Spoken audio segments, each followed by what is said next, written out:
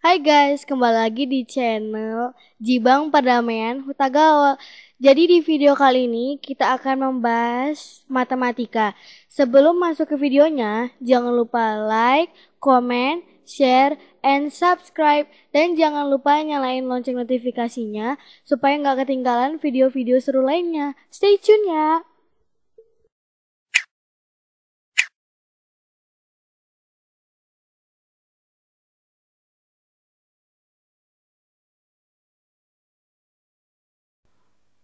Oke, selamat datang kembali di channel YouTube saya. Kita akan coba membahas soal ujian mandiri Politeknik Negeri Jakarta untuk nomor 11 sampai nomor 20. Nah, jadi di sini kita akan coba lihat ya, diketahui matriks A 2310, B 2013, C min 5 min 6 28. Nah, determinan dari matriks A kali B ditambah C. Nah, oke. Okay. Sekarang kita coba jawab ya. Nah, ini dia. Nah, pertama kita akan tentukan dulu nilai dari uh, matriks A kali B ya. Nah, jadi A kali B berarti 2, 3, 1, 0 ya. Dikalikan dengan B 2, 0, 1, 3 ya. Nah, jadi kita coba kalikan 2 kali 2, 4. 3 kali 1 berarti 3. 2 kali 0, 0. 3 kali 3, 9. 1 kali 2, 2. 0 kali 1, 0 ya. 1 kali 0, 0. 0 kali 3 adalah 0. Nah, jadi itu dia. Nah, sekarang kita buat hasilnya berarti ini adalah 7. Kemudian ini adalah ya nih coba kita ulang dulu cek kembali ya. 2 kali 2 4 3 kali 1 3 2 kali 0 nah, baru 3 kali 3 9 1 kali 2 2 kemudian di sini 1 kali 0 0 ini 0 ya berarti pas ini 9 ini 2 ini adalah 0 oke? Okay? nah berarti sudah kita cek bagus oke? okay? 102013 oke okay, ya pas. Nah jadi ini adalah A kali B. Nah jadi kemudian kita lihat A kali B ditambah dengan C. Nah tadi A kali B 7920 ya. Ditambah dengan C itu min 5 min 6 28 nah berarti ini dua, tiga, empat, delapan. Nah, jadi determinan A kali B tambah C sama dengan 2 kali 8 dikurang 3 kali 4. 16 dikurang 12 sama dengan 4 ya. Oke, jadi jawabannya adalah C. Nah, demikian untuk soal nomor 11. Kita lanjutkan soal nomor 12 ya. Oke, sekarang kita lihat di nomor 12 ya. Nah, jika matriks A 21 min 13, B 14 2 min 1, maka B dikali A.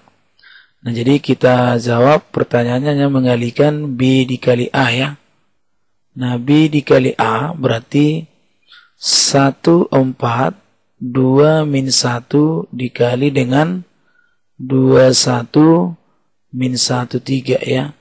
Nah, jadi sama dengan 1 kali 2, 2, 4 kali min 1, min 4, 1 kali 1, 1, 4 kali 3, 12. 2 kali 2, 4, min 1 kali min 1, 1, 2 kali 1, 2, min 1 kali 3, min 3. Nah, jadi ini kita buat menjadi min 2, 13, 5, min 1. Nah, jadi min 2, 13, 5, min 1. Jadi jawabannya adalah D ya. Oke, itu dia untuk soal nomor 12. Kita lanjut soal berikutnya ya. Oke, sekarang lanjut kembali nomor 13 ya. Nah, jika A sama dengan 2, 4, sama 3, maka A inverse. Nah ya, jadi kita jawab. Nah, pertama untuk menentukan A inverse ya, maka kita tentukan dulu yang paling awal adalah determinan A ya. Nah, jadi determinan A kalau kita cek ini matriksnya 2 4 1 3 ya. Nah, berarti 2 kali 3 dikurang 4 kali 1. Berarti 6 dikurang 4 sama dengan 2. Nah, jadi A inverse adalah 1 per 2 dikali 32 min 4 min 1. Nah, itu dia. Nah, jadi kalau kita kalikan ke dalam berarti dia adalah 3 per 2 min 2 min, uh, min, min setengah kemudian 1. Nah, jadi 3 per 2 min 2 min setengah 1. 3 per 2 min 2 min setengah 1. Oke, jawabannya adalah E ya. 3 per 2 min 2 min setengah 1. Oke, jawabannya adalah E. Nah, oke, itu dia untuk soal nomor 13. Nah, kita next ke soal berikutnya ya. Oke, sekarang kita lanjut di soal nomor 14 ya. Data di bawah ini adalah data berat badan beberapa siswa. Jika diketahui median data 56,5, maka nilai K. Jadi pertama kan kita tentukan dulu banyaknya N ya. Nah, jadi N itu sama dengan uh, 5 tambah 7, 12, tambah 10, 22, 34. Berarti 34 kita tambah K. Nah, jadi katanya mediannya sudah 56,5. Nah, kalau 56,5 berarti di kelas ketiga. Ini di kelas ketiga berarti tepi bawahnya adalah 49,5. Nah, kemudian F median adalah 10. Nah, jadi panjang kelasnya adalah 10.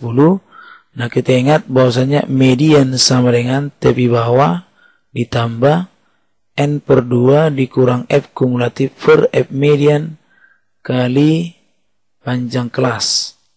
Nah, jadi 56,5 sama dengan 49,5 tambah nah ini 34 ditambah K per 2 dikurang 12 per 10 kali 10 nah jadi ini bisa kita buat kemari. Ini lanjut. Nah berarti 56,5 dikurang 49,5 sama dengan. Ini 10 nya bisa kita coret kemari ya. Nah, berarti 34 ditambah K per 2 dikurangi dengan 12. Nah, berarti 7 sama dengan 34 ditambah K per 2, 12. Jadi kali 2, berarti ini adalah 14 sama dengan 34 ditambah dikurang 24. Nah, berarti 48 sama dengan 30, eh, 38 38 ini kita jumlahkan kemari. Di sini adalah 34 tambah K. 3 sama dengan 38 dikurang 30. 3 nya adalah 4.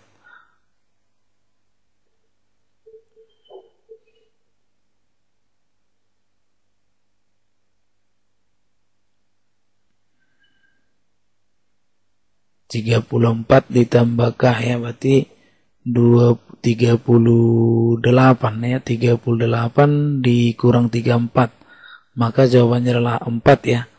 Nah oke okay, itu saya rasa untuk soal ini. Nah di optionnya ini tidak ada kita temukan uh, untuk jawabannya 4 nah kan kalau kita cek 49,5 ya benar ya.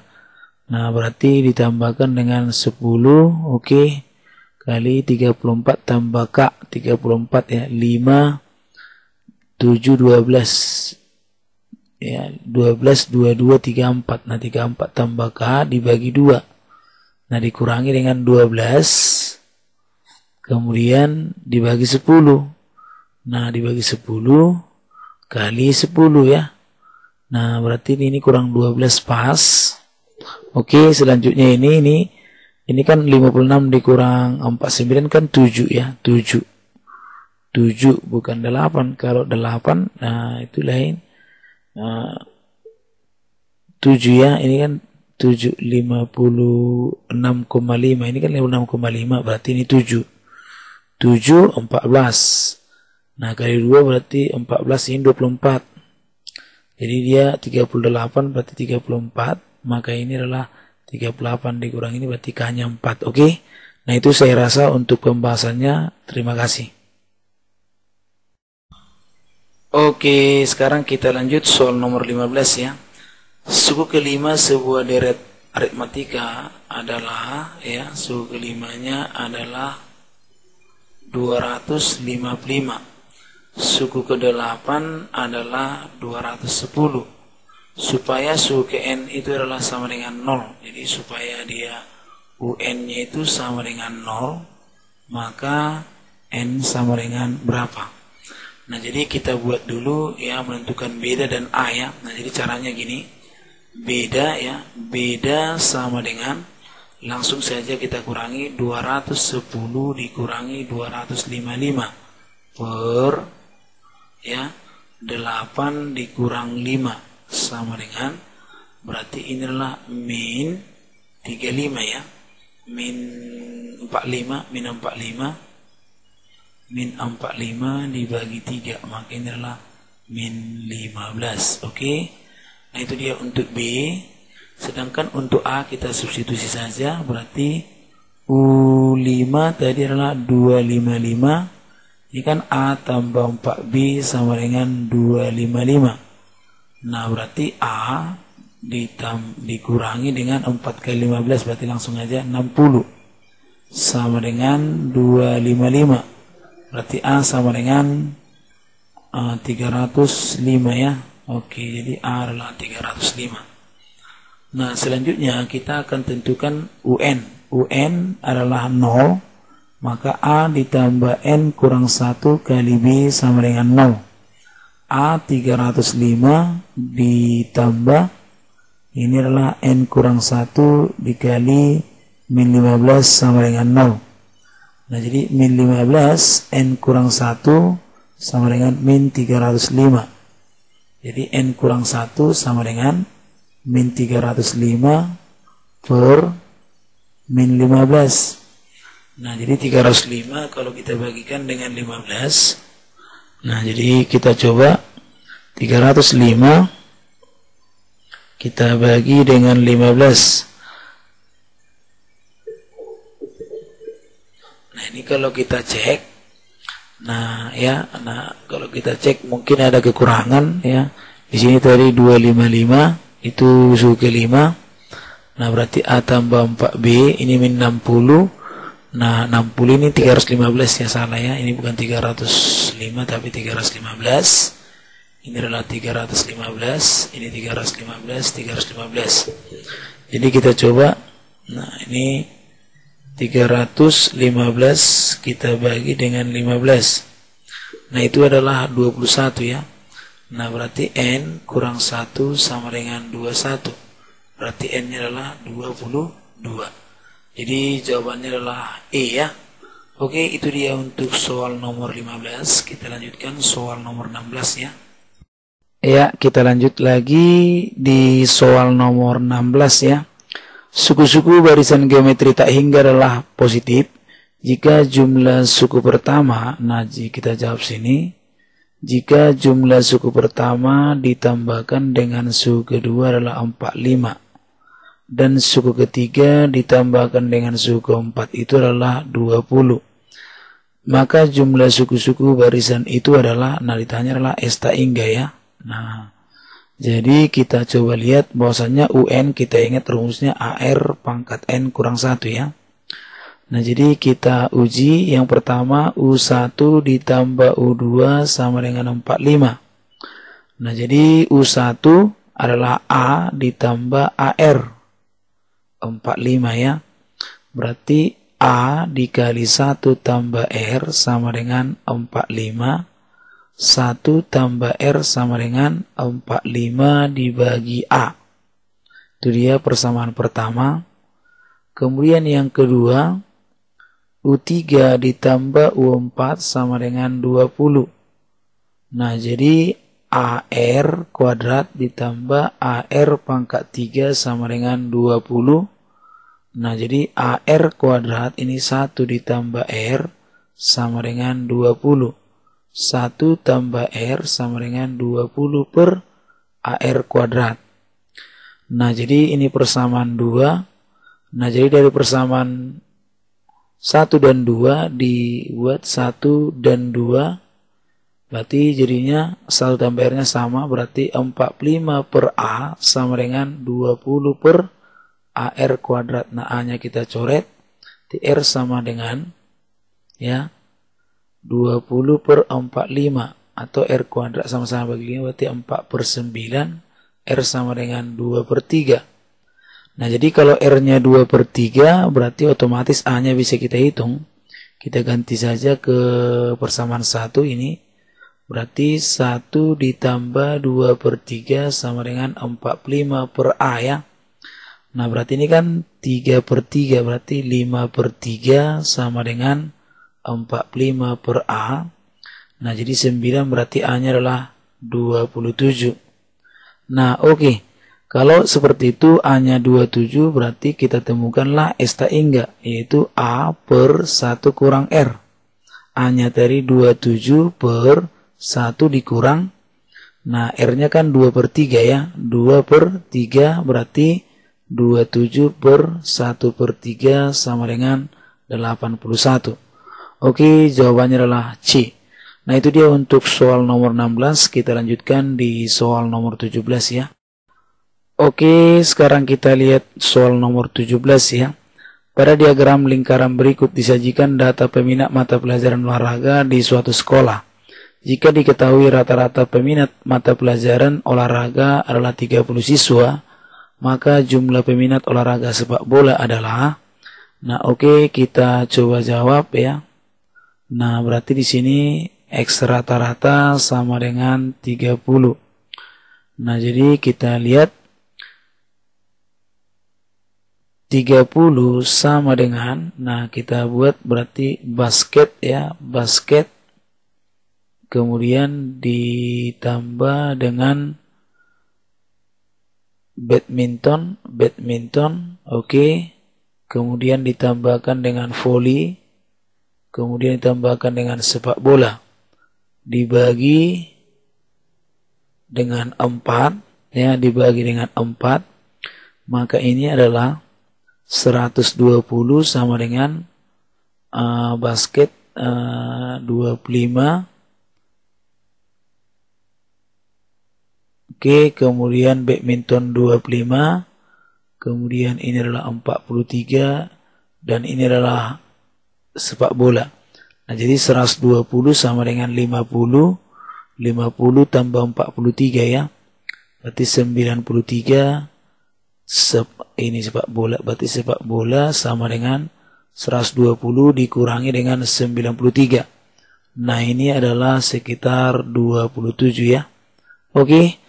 Nah, jadi jawabannya adalah D ya. Nah, oke, kita lanjut di soal nomor 18. Oke, sekarang kita lihat soal nomor 18. Nah, soal nomor 18 ini bukanlah soal menghitung ya. Nah, tapi hanya menentukan uh, dalam kata-kata ya. Mobil merek X adalah mobil yang paling digemari oleh masyarakat Indonesia. Ala ukur statistik yang cocok dengan kondisi di atas adalah Nah, jadi yang cocok itu adalah modus ya. Nah, jadi jawabannya adalah modus. Kenapa? Karena modus adalah uh, frekuensi terbanyak ya artinya frekuensi terbanyak yang dimiliki eh, dimiliki oleh data-data ya. Jadi kalau misalnya datanya ada sekian berarti dari sekian itu ada nilai X yang lebih banyak dibandingkan yang lain.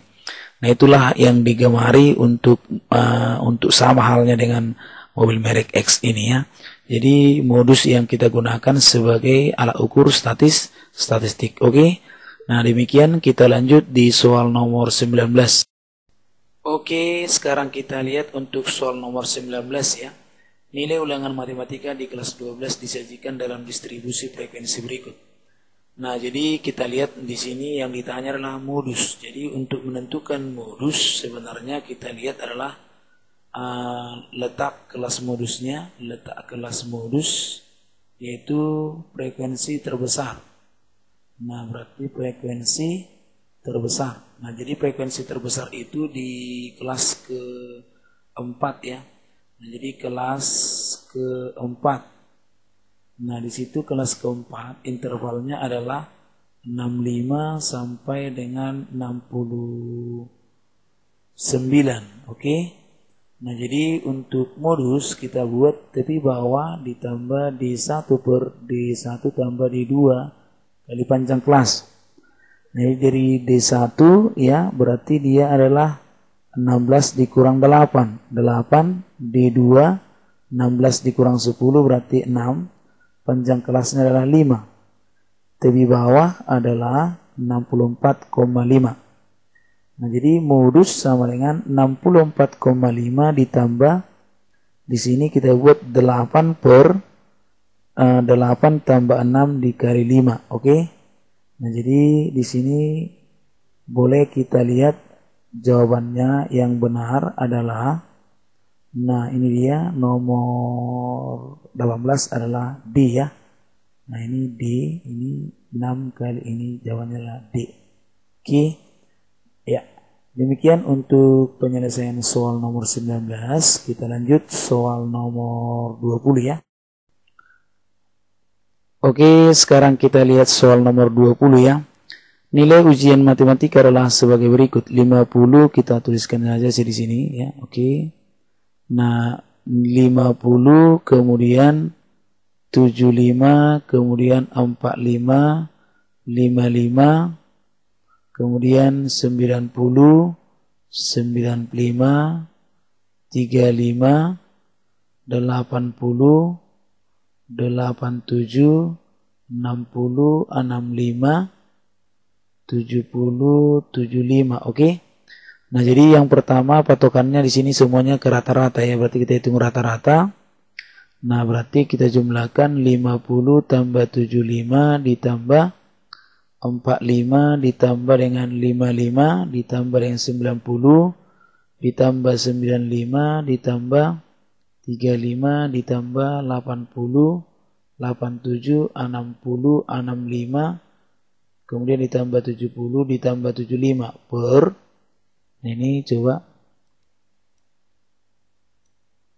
Nah, ini kita buat berarti X rata-rata.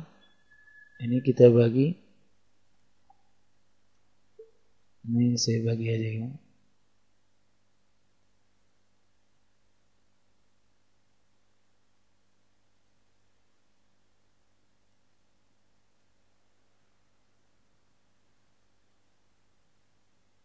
Oke, ini kita bagi. Satu dua ini satu dua tiga empat lima enam tujuh delapan sembilan sepuluh sebelas dua belas tiga belas. Nah jadi kita bagi tiga belas ya. Nah jadi kalau kita bagi tiga belas nah kita jumlahkan terlebih dahulu ya. Nah jadi kita lihat jumlahnya. Nah di sini bisa kita buat 50 tambah 75 ya dari yang dekat 125 ditambah ini kemarin 100 kemudian 185 kemudian 35 tambah 80 115 kemudian 87 ditambah 60 147 ditambah 65 tambah 70 135 135 ditambah 75 berarti 210 ya oke okay. Nah ini kita coba bagi dengan 13. Oke, maka ini kita buat adalah 225 ditambah. Nah ini adalah 290 berarti 300 ya. 300 ditambah dengan 2 357 357 Oke, kita bagi dengan 13. Kita bagi dengan 13. Maka ini 555 ya, 555 525 ditambah 357 dibagi dengan 13. Nah, oke coba kita buat berarti 525 tambah dengan 357 itu adalah 882. 882 kita bagi 13, kita bagikan dengan 13, maka itu adalah 67,84.